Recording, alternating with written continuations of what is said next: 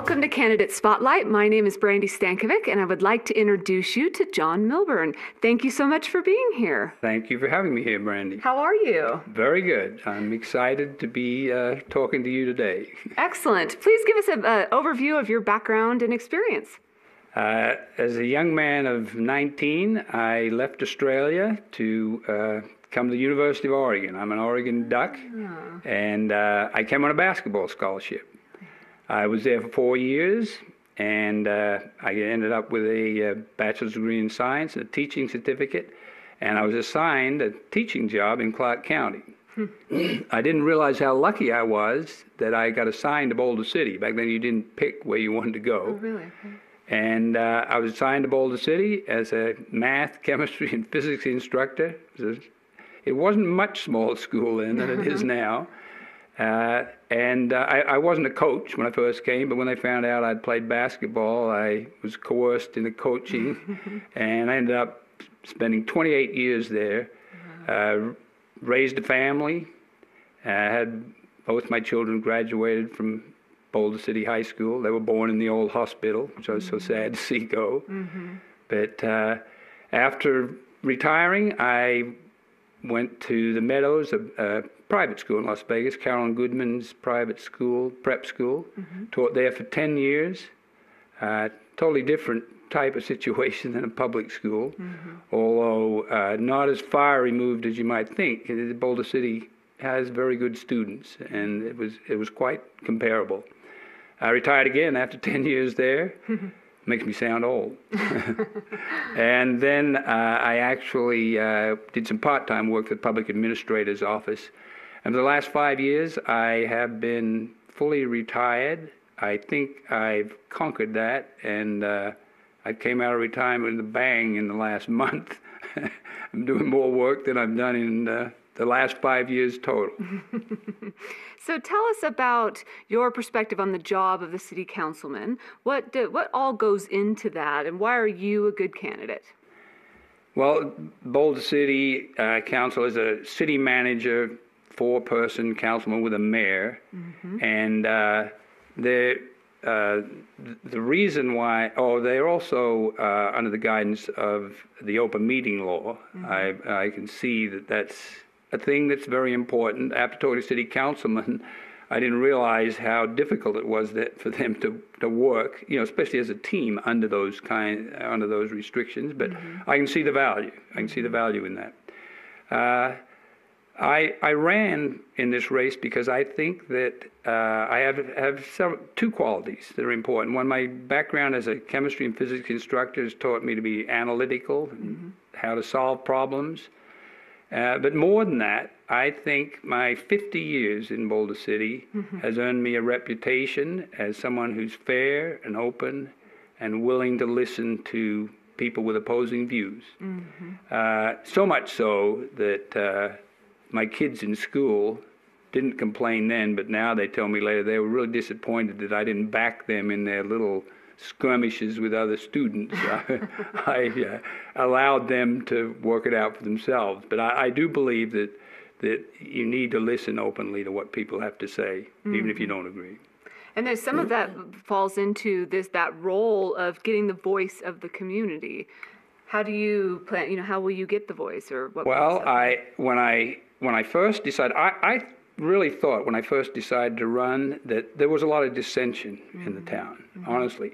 But I made it my goal to go and talk to people, and I found out that we really are way more united than people think. Mm-hmm. Uh, certainly, people have their own little issues, but everybody is in. I am in favor of the controlled growth ordinance, but I need some growth. I've heard that statement stated exactly like that from 30 or 40 people that I've talked to. Uh, I was careful not to talk to just the people that I know. Some uh, I was instructed, well, go to the bowling alley. That's where the normal people. I don't know what normal is, but I did go to the bowling alley, and I talked to a few people there, and everyone in town. Well, number one, every single person is totally has the best for Boulder City at heart. There are minor disagreements, but I can tell you on the growth issue, this town is fairly united in that they love our growth ordinance, and it's been wonderful, wonderful to us over the years. I supported it back in 1979 mm-hmm. when I was here, mm-hmm. and it's been a wonderful thing for us. Mm-hmm. So tell us then about your five-year vision for the city of Boulder City. Right now, I envision uh, Boulder City as retaining a lot of its same flavor with maybe construction on a new pool, lower debt, uh, our infrastructure problems being handled. But honestly, I see Boulder City right now still as the small historical town that, that it was when I came here. And it has been able to survive the growth of Villa del Prado residential growth on one side, all of the growth below Adams that wasn't there, all of the growth over the hill. And in five years, I still see it surviving as a small, vibrant community uptown, the historical community, with, with now some additional residential growth out towards Boulder Creek. And that's what, what I see, right? I, I, I can see that, uh, and, and it would be something that would not change the character of the uptown of Boulder City as it remain, is right now in my mind. And what then, based on that, are your priorities for the for the city? Well, the the uh, the prior there's several priorities. The, the first two, the major priorities that I see is reducing the debt and our infrastructure problems. But they require money, funding, mainly from the uh, from our uh, capital improvement fund. But in addition to that, we have have uh, problems that are not so easy to solve just with money. For example, the the uh, reduced number of students in the high school. Uh, I was surprised to learn that it's it's. Uh, I retired 24 years ago from teaching the high school, and 30 odd years ago, the school was 100 or 150, I think, more than it is right now, which. I don't know, you know, that was surprising. I, I, I was I was not aware of that. But uh, that issue, and then the expected downturn in business, uh, business uh, community due to the impending coming of I-11, those things can't be as, as easily solved with money. But the uh, priority of growth out, uh, especially out around Boulder Creek, uh, where we've already got pre-approved land.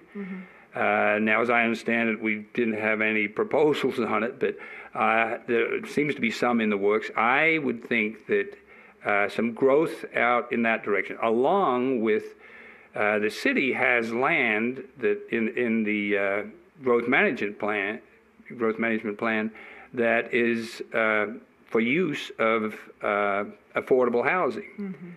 And uh, they also have at their disposal incentives for, you know, developers, not for them to get the money, but for them to provide lower housing on designated, ar- you know, areas in town. There's some that are already in the land, land management uh, program. Uh, I would like to see both of those things encouraged. And the reason why is that they could help. Obviously, they're not going to solve the problem of declining school population and the declining businesses. We need to do a lot more in both those issues, I think. But it, it would at least help. But the advantage, we are, I've heard the statement said that growth doesn't pay for growth. And I understand where they're coming from. But Boulder City is truly unique, is that we do get an initial revenue from the sale of that land. That sale of land, which, which has to uh, go in the capital improvement fund, then could be used to provide a new swimming pool, uh, make improvements. Also, right now, there's some people concerned about a high voltage power plant coming up from Hemenway Park. Could be used for things like that. And so you spoke to it somewhat in in discussing the priorities and your vision, but your position, what is your position in that in the Well, my position, uh, my position is we do need to reduce the debt. Uh, we do need to work on our infrastructure problems. And we do need to address the issue of the declining school population. Uh, you know, I, I wanted, you know, but that's a difficult one to do. We do need to address the, the business community. Matter of fact, I was just at a business community meeting. I was really impressed with how they uh, were working together, networking, trying to help each other. I, I talked to some businesses that I thought, well, you probably won't be affected by as much by the uh, uh, coming of the I-11. And their immediate answer was, yeah, well, but they were worried about the other businesses. And I, I thought that grouping together of them, obviously, the community and everybody needs to get, get behind them. But of those four issues that I've just mentioned that I'm in favor of, I think the one priority of encouraging some residential growth and the money that we could get from that could help all of those things at one time. Yeah, that's true. So, how will you contribute then to making the city a better place? Uh, I uh, I feel that I mentioned this before that with with my background, I think I have being able to to analyze and analytically, analytically look at problems and solve them, along, like I said, with my personality for being able to get along with people. That that makes me qualified to be on city council. I know that a lot of people don't have the time to be mm-hmm. able to study all the issues. I found out that in this month I have not been able to study everything I want to. I, I particularly looked at the growth issue because that I thought was the one that, which was the most dissension. And like I said, I'm I'm thinking that's one of the ones that where there isn't a problem. But I think that my 50 years here has earned me a reputation that I would be trusted to do the right thing and listen to people and do what's best for Boulder City. For the community. So, any final thoughts on why we should vote for you? Uh, I think I've said, repeated it twice, and I will repeat it again that I have the best interest of Boulder City at heart, and I will do my utmost to do the right thing, uh, even to the extent that sometimes I may have to do things that I don't particularly want to do. You know, if, if the obviously if the majority of people want to do it, you know, then I'm going to go along with that. But I've, I think I've explained what, mm-hmm. you know, what I have in mind. And if people like what they hear and they trust my integrity, mm-hmm. I would like their vote. Excellent. Thank you very much for being a part of this. I appreciate Thank meeting you, and- and having you be here and, and sharing your experience. Thank you so much. My name is Brandy Stankovic, and you just had the opportunity to watch the Candidate Spotlight, which was an informal discussion with the candidates in the upcoming election for City Council here in the city of Boulder City. All of the eight candidates had the opportunity, equal opportunity, to come be a part of this process.